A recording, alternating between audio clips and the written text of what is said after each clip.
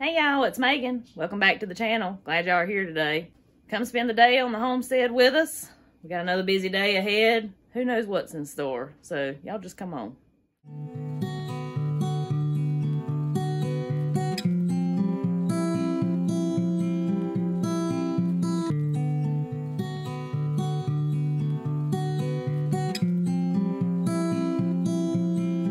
I'm gonna show y'all what I got going on in the kitchen. Um, on the inside, some days I'm busy in here and Andy's busy outside. It's not all we're not always together. Um, but I'm canning some of my pink-eyed peas. My canner's not full. It'll be fine, just in my experience. Um, and I'm also gonna be dry canning some potatoes. Some method I've never tried before. I've seen it floating around a lot of different places. I'm gonna give it a try. I usually can them in water. We're gonna see. We're gonna see how this goes, but you gotta soak them first. So I'm letting them, letting them soak. I got a sink full of dishes I've got to wash. I washed dishes at least five times yesterday, and it's still full. this time of year, right? Um, and then I've got a few more tomatoes to work on. I'm gonna make Jacob some salsa and can it because the youngin loves salsa. And the salsa in the ball canning book, or book of preserving, I think is what it's called. Um, that recipe is delicious. So, yep, I'm just letting this heat up and then get those going just one little step at a time. This time of year, I feel like I need two stoves instead of just one.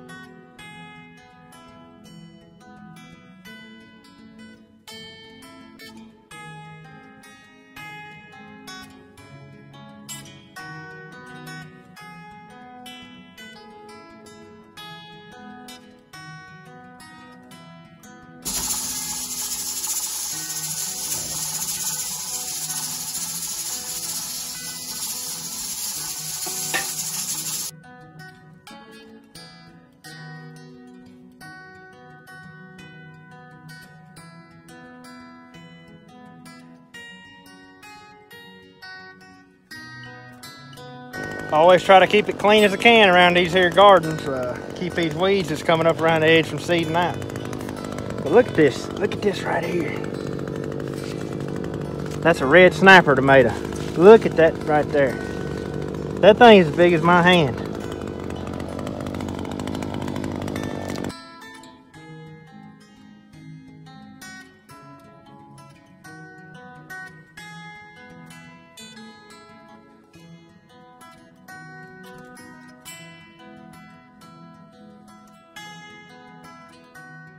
It's simply amazing how fast these weeds will grow this time of year. Especially when you don't have any type of covering over the dirt. Like right here, we've got straw. You can see how clean, well not straw, hay, you see how clean that stayed. But nope, not when you leave it bare ground. It's not gonna stay clean for long. So we just keep it when it gets this time of year, we just kind of keep it weed eated down, trying to keep everything from seeding out. But on to the next one.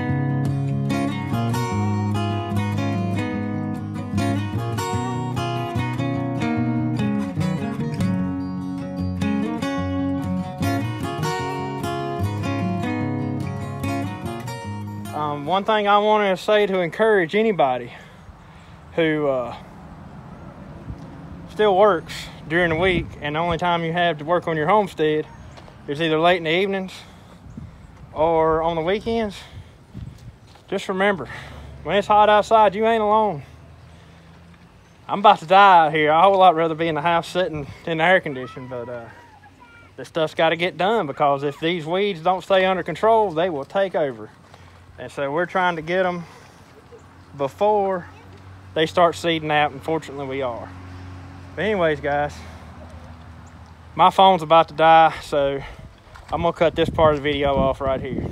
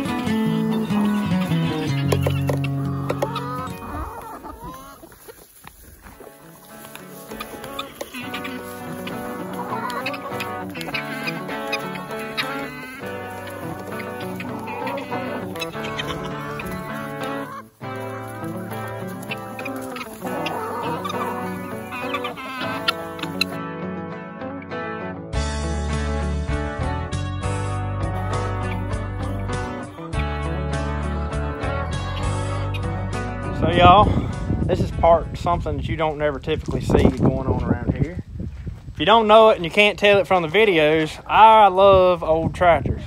And anytime I ever come across one that's priced right, that I have the money to buy at the time, I typically uh, jump on it. Um, now, take for granted things the last few years have not been priced right. But um, this tractor right here has actually been in my family for a while. Um, it's distant family, but still been in my family for a very, very, very long time, and it's been sitting right here under this shelter now for probably 10 years or more without being started. And so the last few weekends, I've been over here just piddling when I had time, trying to get this thing started, and I've had to replace a few parts here and there. Well, my next thing is I believe I've got to pull the starter off and uh, go carry the starter and have it rebuilt. So while I've got an extra 30, 45 minutes or so, I'm going to get this thing pulled off and hopefully Megan's going to be able to take it and have it, um, drop it off at the uh, shop to have it worked on sometime this week. And just in case y'all are wondering, this is an old John Deere 1010. I think it's about a 1962 model. 1962. 60, 62 is somewhere right in there. I'm not sure, honestly. But uh, there's no telling how many acres of tobacco this tractor is cultivated.